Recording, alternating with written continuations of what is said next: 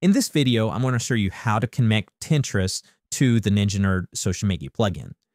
If you go to the profiles page, there will be a tab called Pinterest. Click on Pinterest.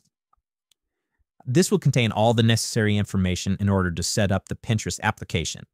Click on Visit Pinterest Developer. This will take you directly to the developer page. Click on I agree to the Pinterest developer terms and API policy. Click Create App. For the name, just type in Ninja Nerd. For your description, you can go back to your profiles page and copy the description and then paste it.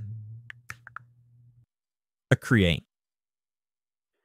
And then scroll down to see site URL. You can type in your site URL, but it's recommended that you copy and paste.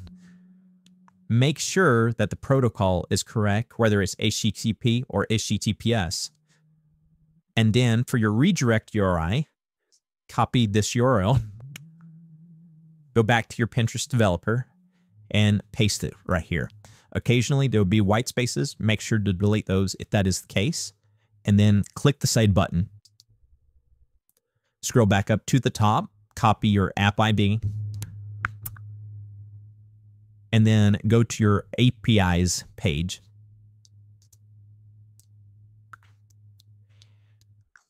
Choose Pinterest from Add New Connection.